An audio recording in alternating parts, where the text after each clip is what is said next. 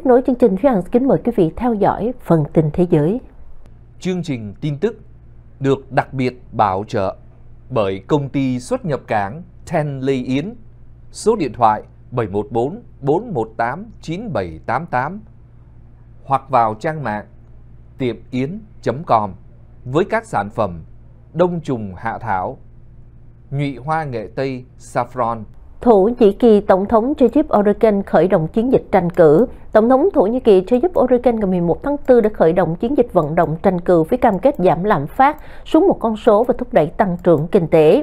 Ông tuyên bố không gì cản được bước tiến của Thổ Nhĩ Kỳ ở địa Trung Hải. Theo kế hoạch, cuộc tổng tuyển cử tại Thổ Nhĩ Kỳ sẽ diễn ra ngày 14 tháng 5 với các kết quả thăm dò cho thấy uy tín chính phủ của ông Erdogan bị sụt giảm trong vài năm gần đây do chính sách kinh tế đã khiến giá trị đồng nội tệ Libra giảm sức mạnh và lạm phát gia tăng. Phát biểu trước đám đông tại thủ đô Ankara, ông Erdogan khẳng định quyết tâm thúc đẩy kinh tế tăng trưởng thông qua tăng đầu tư tuyển dụng sản xuất và xuất khẩu.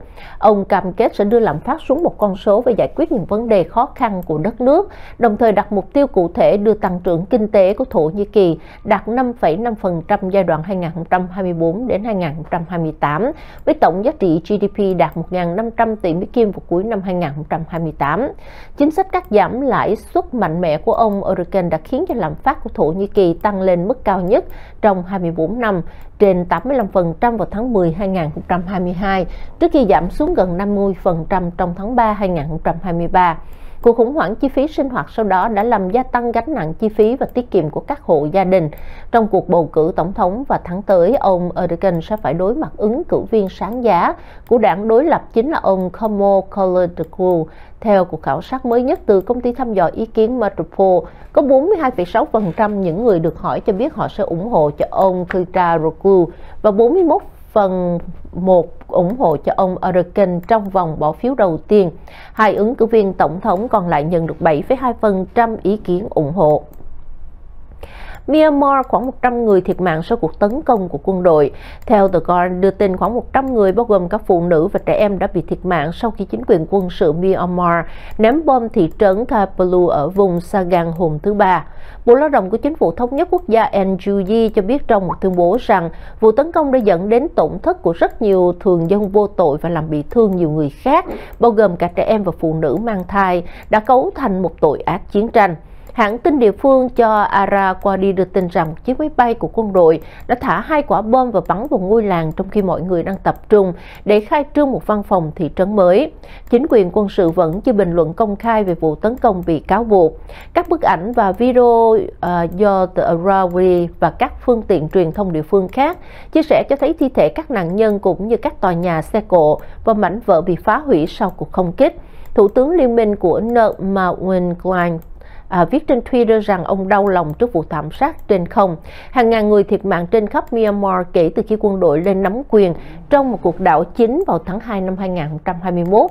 Hai năm trôi qua, quốc gia Đông Nam Á này bị rung chuyển bởi bạo lực và bất ổn. Nền kinh tế đã sụp đổ với tình trạng thiếu lương thực, nhiên liệu và các nguồn cung cấp cơ bản khác. Tin từ Pháp, người biểu tình làm gián đoạn bài phát biểu của ông Macron. Hãng thông tấn AFP cho biết nhiều người biểu tình la ó ngắt lời Tổng thống Pháp Emmanuel Macron khi ông phát biểu trong chuyến thăm Hà Lan. Những người biểu tình hôm 11 tháng 4 hét lên bên trong nhà hát Aware ở The Hague, Hà Lan, nơi Tổng thống Macron có bài phát biểu nền dân chủ Pháp ở đâu, chúng ta đã đánh mất nó từ bao giờ. Ông đáp lại tôi có thể trả lời câu hỏi nếu các bạn cho tôi chút thời gian. Trong lúc đó hai người biểu tình dơ cao một tấm băng rôn màu vàng ghi thông điệp phản đối ông Macron.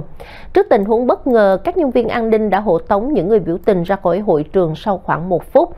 Bên ngoài một nhóm khoảng hơn 20 người biểu tình tiếp tục hô khẩu hiệu phản đối lãnh đạo Pháp. Tổng thống Macron sau đó nói rằng việc tranh luận trong xã hội là điều rất quan trọng và ông có thể trả lời tất cả các câu hỏi của mọi người về những gì chúng tôi đang thảo luận ở Pháp. Tuy nhiên ông nhấn mạnh những người làm bất cứ điều gì họ muốn để chống lại các điều luật mà họ phản đối sẽ khiến cho nền dân chủ gặp nguy hiểm. Tổng thống Macron đang phải đối mặt hàng loạt cuộc biểu tình và đình công ở Pháp nhằm phản đối luật tăng tuổi hưu do ông phê duyệt. Một số chuyên gia cảnh báo luật cải cách hưu trí sẽ tác động tới nhiều thành phần trong xã hội Pháp, nhưng tầng lớp lao động phổ thông sẽ chịu hậu quả nặng nề hơn cả. Dù vậy, Tổng thống Macron giải thích rằng cải cách hưu trí là cần thiết để giữ toàn bộ máy được bền vững. Hội đồng cố vấn hưu trí Pháp ước tính hệ thống hưu trí Pháp sẽ thâm hụt mỗi năm khoảng 10,73 tỷ Mỹ Kim từ năm 2022 đến 2032. Nga trùm Wagner tuyên bố kiểm soát hơn 80% Bakhmut. Hãng thông tấn Nga TASS cho biết Jagani Prigozhin, lãnh đạo tập đoàn an ninh tư nhân Wagner, nói lực lượng này đã kiểm soát hơn 80% thành phố Bakhmut. Jagani Prigozhin, lãnh đạo tập đoàn an ninh tư nhân Wagner cho biết trong video đăng trên Telegram hôm nay, phần lớn khu vực tại Bakhmut khoảng hơn 80% đang nằm dưới sự kiểm soát của chúng tôi, bao gồm trung tâm hành chính, các nhà máy, nhà kho trong thành phố. Lãnh đạo Wagner ngồi trước một bản đồ và dùng bút màu đỏ để làm nổi bật các khu dân cư ở Bakhmut mà lực lượng Nga chưa kiểm soát. Nga và Ukraine đều đang dùng lực vào trận chiến ở Bakhmut. Kiev nói rằng trận chiến ở Bakhmut là chìa khóa để kìm hãm lực lượng của Moscow ở mặt trận miền Đông. Trong khi đó, kiểm soát Bakhmut có thể cho phép quân đội Nga nhắm trực tiếp vào các tuyến phòng thủ của Ukraine ở thành phố Cherchevyor gần đó, đồng thời mở đường tiến công vào hai thành phố trọng yếu ở tỉnh Donetsk và Kramatorsk và Slovan. Lãnh đạo Cộng hòa Nhân dân Donetsk do Nga bổ nhiệm Danis Fochulin ngày 10 tháng 4 nói lực lượng Nga đã kiểm soát phần lớn Bakhmut và đang tiếp tục tiếp quân. Ông đã mặc áo chống đạn đến thăm thành phố. Bộ Quốc phòng Anh tuần trước nói Nga đang khôi phục đà tiến công Bakhmut tiến vào trung tâm thành thành phố và kiểm soát bờ Tây sông và Muka. Các đơn vị chính quy Nga, trong đó có lực lượng đổ bộ đường không đang tăng viện cho những mũi tấn công ở khu vực. Pháo binh Nga cũng chiến đấu hiệu quả hơn. Cuối sang năm hàng rúng động đường dây tẩm chất cấm vào đồ uống cho học sinh, tống tiền phụ huynh. Đầu tiên nhóm tội phạm bỏ chất cấm vào nước uống và tặng miễn phí cho học sinh bên ngoài các trường luyện thi. Sau đó đường dây này tống tiền gia đình của các học sinh trung học, những người không hay biết gì về thành phần của nước uống và vô tình nạp chất cấm vào cơ thể. Thủ đoạn hành động này vừa bị phơi bày ra ánh sáng tại Nam Hàn vào tuần trước khi bảy học sinh uống nước miễn phí có triệu chứng lạm dụng ma túy và cho kết quả dương tính khi xét nghiệm chất cấm.